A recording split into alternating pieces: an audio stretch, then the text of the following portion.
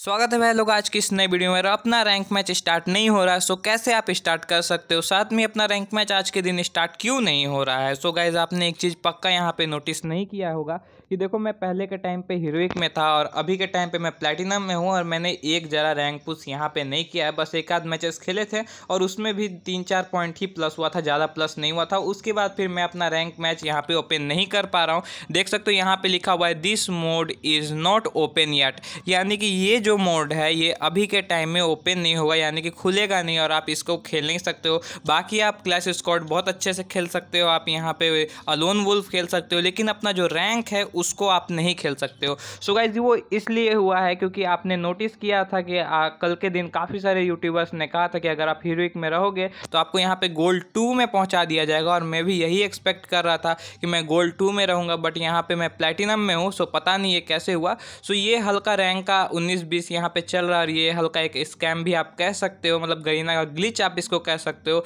तो उस ग्लिच को यहाँ पे ठीक करने की पूरी कोशिश की जा रही है गरीना की तरफ़ से और यहाँ पे नेपाल सर्वर जो है, वो भी अपना पूरा डिस्टर्ब है, यानी कि जो अपना नेपाल सर्वर है, उसमें भी ये प्रॉब्लम चल रहा है। अभी नेपाल में भी कोई यहाँ पर रैंक नहीं खेल पा रहा है। बात करें कि अपना जो इंडियन रीजन है, उसमें ये कब तक ठीक हो जाएगा और कब आप रैंक मैचेस खेल पाओगे। उसके साथ में एक और बुरी खबर आ रही है कि आज के दिन आपने जितना भी रैंक प्लस किया है, वो सारा रीसेट हो जाएगा। तो देखो मैं अपनी हिसाब से बता दूँ मुझे बिल्कुल भी नहीं लगता कि ऐसा कुछ होने वाला है, ठीक है?